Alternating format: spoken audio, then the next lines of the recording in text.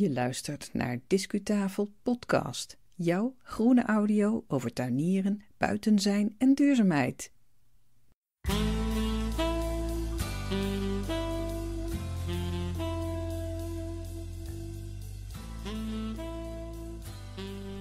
Hallo, het is 16 eh, juni 2024 dat ik deze podcast online zet en je kunt hem nog jarenlang terugluisteren.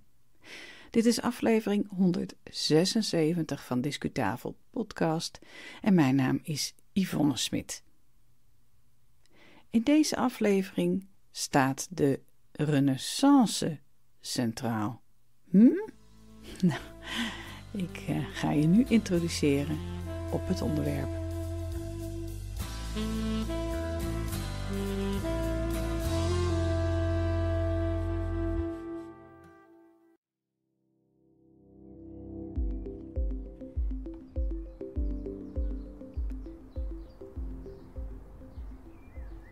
Je luistert nu naar een podcast over tuinstijlen in Nederland. Bij Discutafel gaan we nog alles op stap naar historische parken en tuinen in binnen- en buitenland. En je kan natuurlijk zonder enige historische of botanische kennis genieten van zo'n plek. Maar misschien kan je nog meer genieten wanneer je wat meer weet over tuinarchitectuur. Daarom delen we vanuit onze stadstuin ook wat basiskennis met jou over stijlperioden in de Nederlandse tuinarchitectuur. Van pakweg 1500 tot aan de Tweede Wereldoorlog. Misschien herken jij wel sierelementen uit een stijl bij jouw eerstvolgende bezoek aan een historische tuin. Je kunt alle delen uit de serie onafhankelijk van elkaar beluisteren.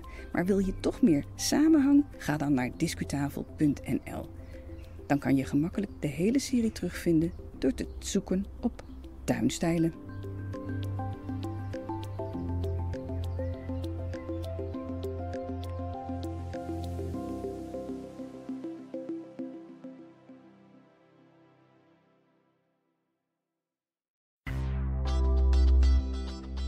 Discu-kennis. In deze aflevering bespreken we de Renaissance. Dat is een eh, periode in de Europese cultuurgeschiedenis die volgde op de middeleeuwen. Dus we spreken over de periode vanaf het jaar 1500.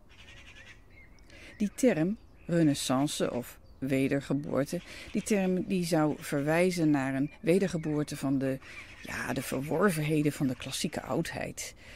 En uh, men keek dan ook naar de periode daarvoor als naar een periode van verval, die middeleeuwen. Maar de vraag is of die middeleeuwen wel zo'n periode van verval waren. Ik zelf uh, bezoek geregeld musea en tentoonstellingen over de middeleeuwen. En ik ben telkens weer onder de indruk van de wijze waarop men toen leefde. Enfin, ik kan er wel inkomen dat de periode na de middeleeuwen werd gezien als een tijd van grote ontdekkingen, van maatschappelijke veranderingen en vernieuwing ook. Zoals uh, ja, de teleurgang van het feodaal, feodale stelsel, uh, de ontdekking van nieuwe continenten, hè, de ontdekkingsreizigers, nieuwe inzichten in astronomie en ook de introductie in Europa van de drukpers.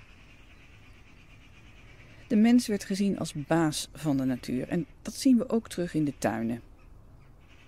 De stroming die we met de Renaissance verbinden, dateert uit de periode van 1500 tot ongeveer 1650. En de tuinen uit deze periode, als ze buiten de stad uh, zich bevinden, die bestaan uit omheinde rechthoekige deeltuinen in geometrische vormen. Het zijn omheinde tuinen, zei ik. Ze zijn dus besloten.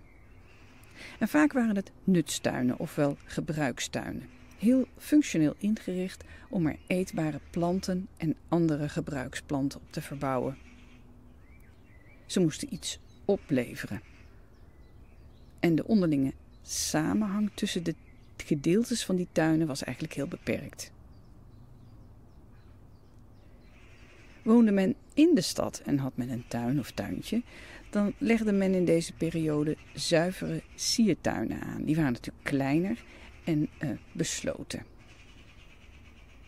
En toen? Toen brak de Gouden Eeuw aan. En de opkomende elite kon zich in de tweede helft van de Renaissance veroorloven om gebruikstuinen buiten de steden te voorzien van diverse sierelementen. En soms hoorde daar ook een zogenoemde berceau bij.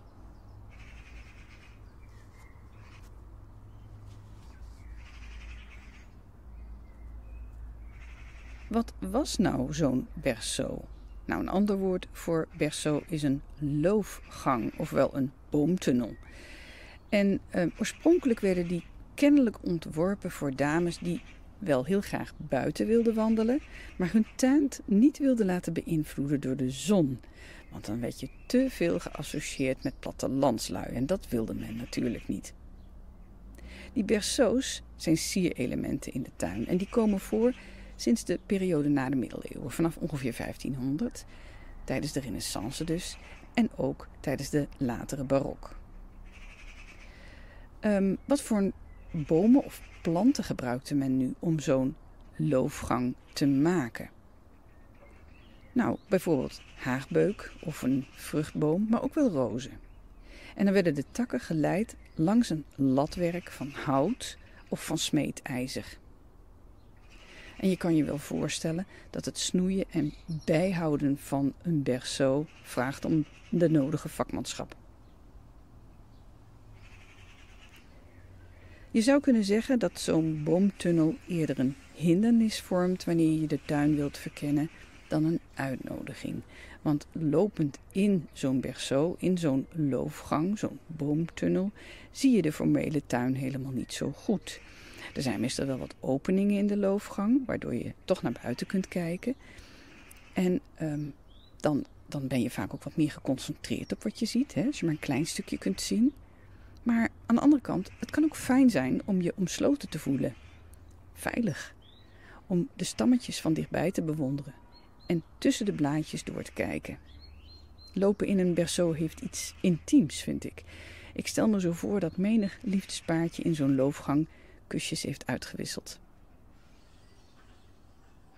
Mocht je eens in de omgeving van Arnhem zijn, dan kan ik je aanraden om naar buitenplaats Mariendaal te gaan. Want daar is een zeer indrukwekkende berceau. Die heet de Groene Bedstede. Helaas hebben ze op Mariendaal geen formele tuin eromheen, maar gelukkig wel een prachtig bosrijk heuvellandschap.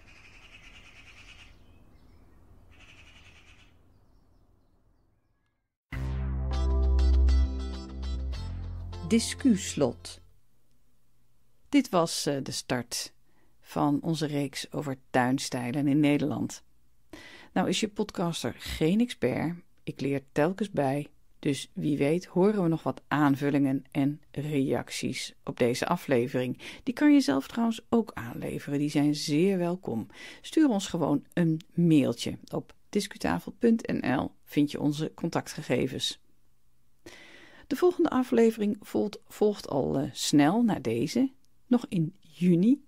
Maar we gaan eerst een aflevering uitbrengen uit de parallelreeks over tuinstijlen van Kasteel Twikkel. Ga intussen lekker naar buiten. Graag tot de volgende keer.